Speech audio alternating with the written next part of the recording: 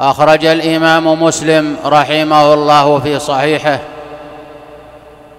عن سفيان بن عبد الله قال قلت يا رسول الله قل لي في الإسلام قولا لا أسأل عنه أحدا غيرك. فقال عليه الصلاة والسلام قل آمنت بالله فاستقم. أخرجه الإمام مسلم وأخرجه أحمد والدارمي والترمذي وابن ماجه بزيادات وبألفاظ أخرى. وهذه الإجابة منه عليه الصلاة والسلام. قل آمنت بالله فاستقم.